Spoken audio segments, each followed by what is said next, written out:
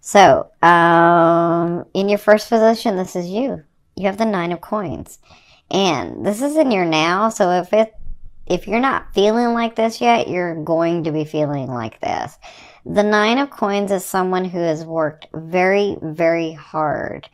Um, had has had to make a lot of sacrifices to get to where they're at. Like now they're looking pretty, they're sitting there, they have these coins, they're feeling stable, but they have had blood, sweat, and tears to get to this place, right?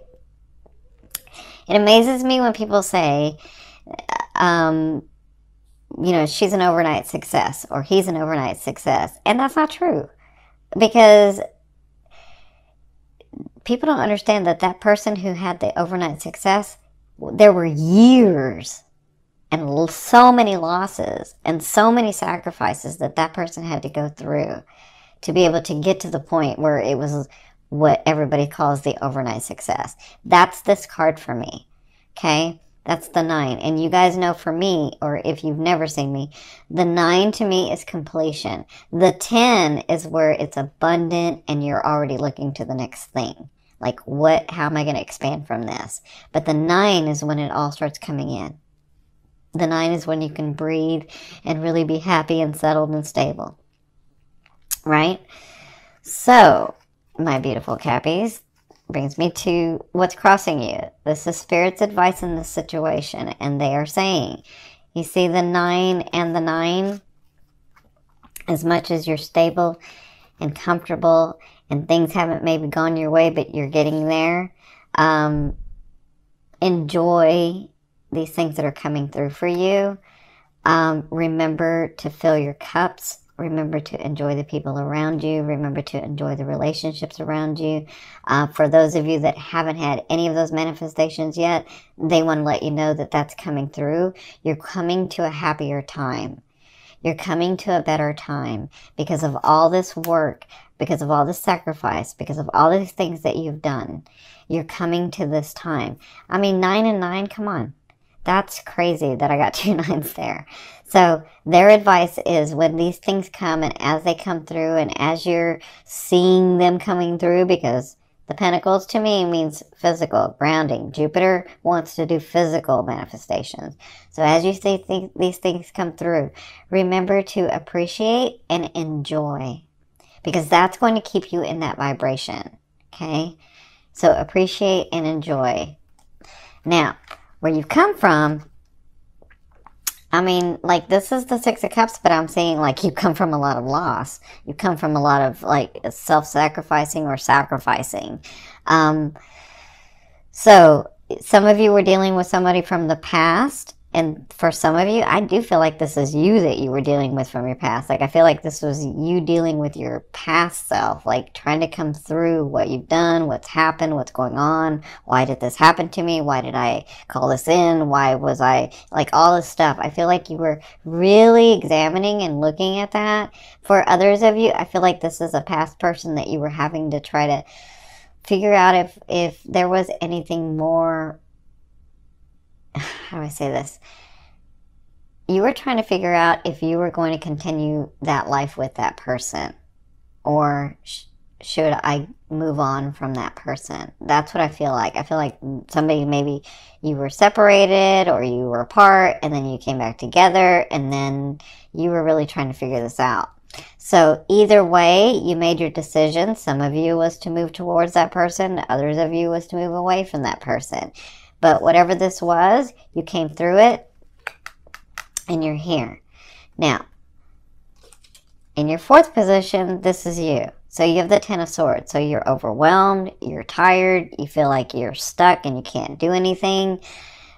But remember, when you look at this, even though they're swords, you see the light at the end, they're not hurting you.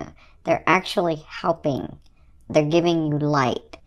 They're tweaking what it is that you're wanting. They're helping you stay focused on what it is that you're wanting to do. And sometimes it's just about the manifestation. It's just about the unfolding, right?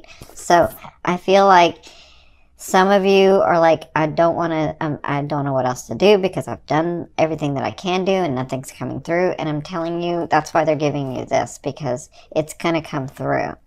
For others of you, if you haven't made a decision about that loved one, that particular romantic love, or um, like you don't have to like be with somebody to love them, right?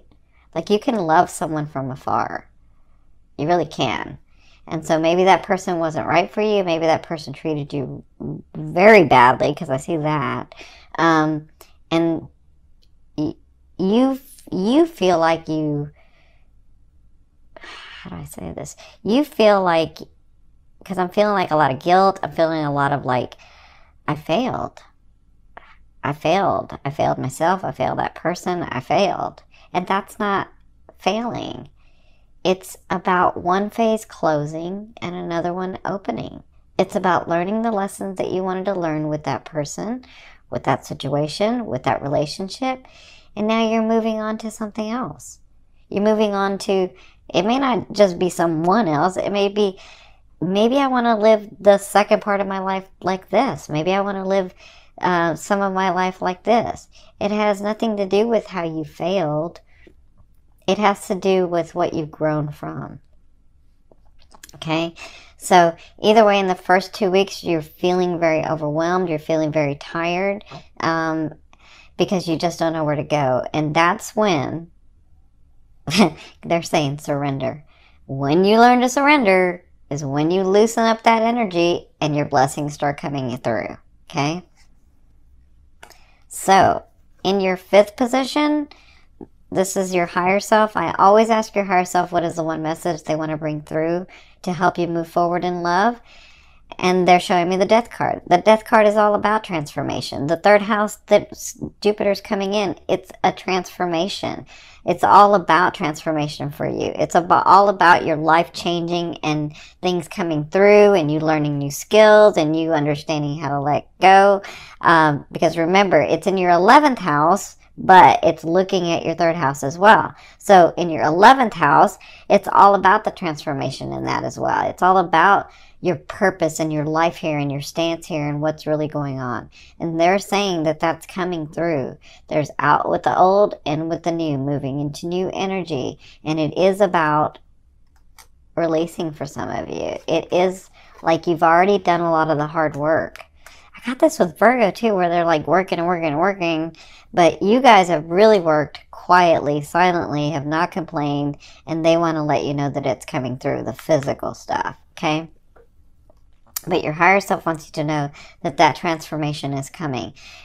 You are ending like the old. You're letting it, some of it go, and you are coming into this new phase of life. Okay.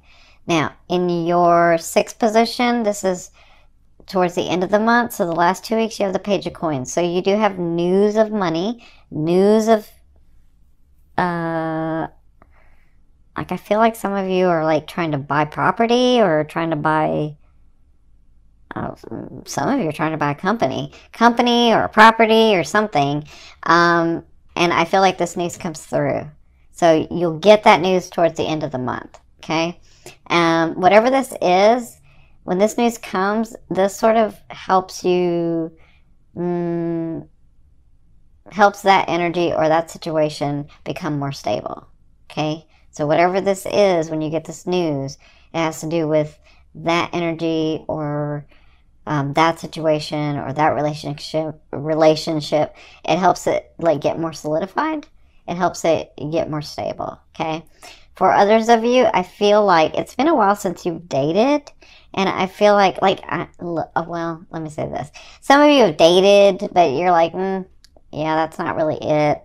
And so I feel like towards the end of the month, this person that comes in is like uh, a little bit more than the others be- because they are a little bit more stable in who they are.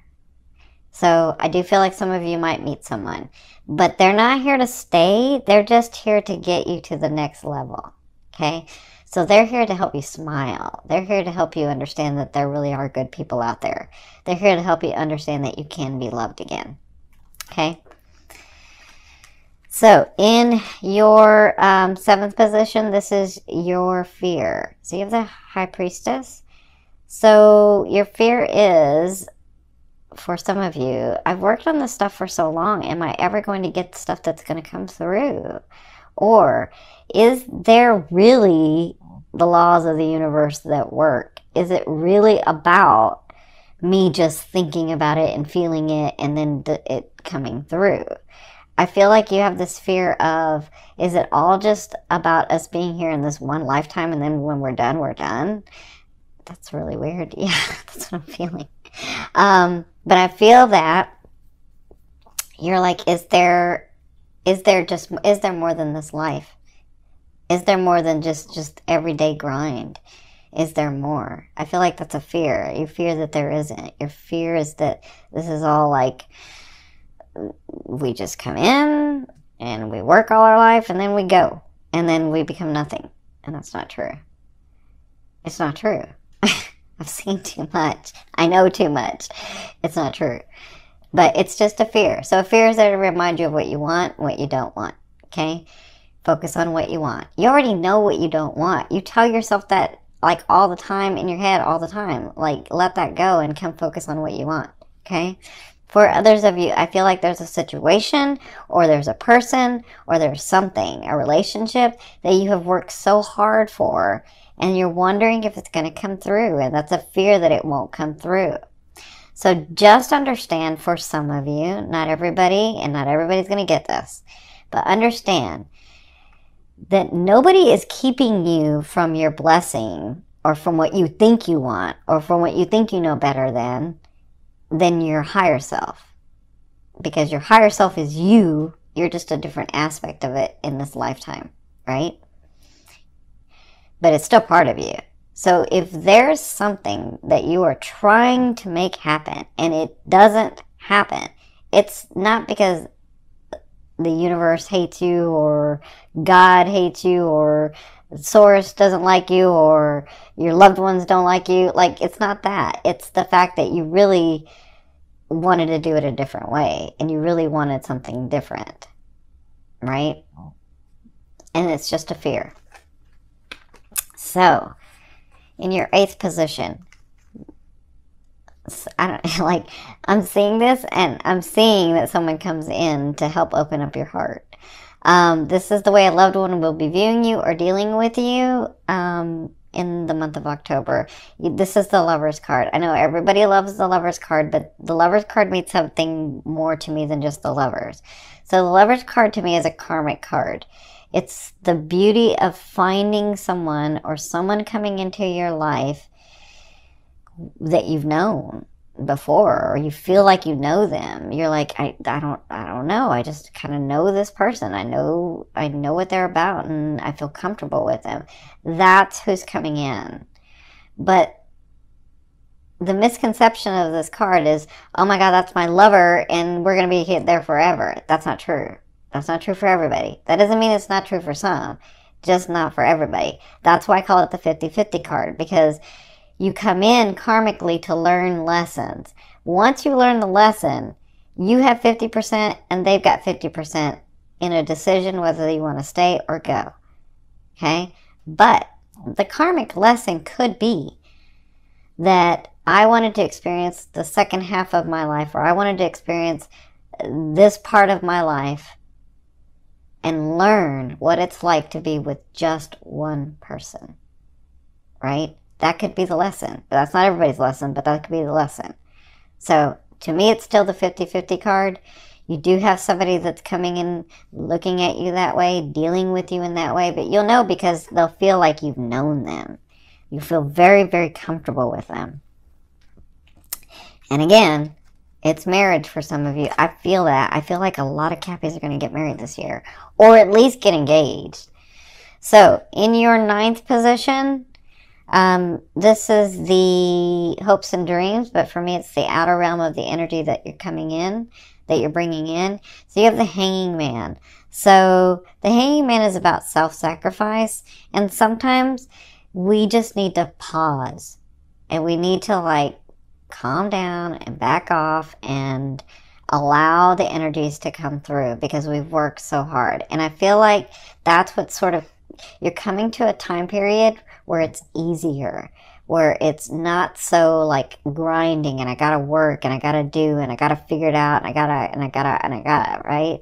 I feel like this time is coming where you're just more relaxed and you're able to put yourself in a position like self-sacrificing you're able to put yourself in a position where you're more at ease and you're happy and do you remember that word joy i know a lot of you have forgotten what that word is joy i feel like with this card you're going to find joy again and happiness okay now in your 10th position this is the overall outcome of what you'll be working through in the month of October, and um, you have the ace. So I feel like you have like a couple of things going on. Well, hello, you got like all of this going on, but um, you have the ace of coins. So you have new beginnings coming. You have this transformation. You have all this work that you've done, and they're saying remember to be happy and appreciative and enjoy.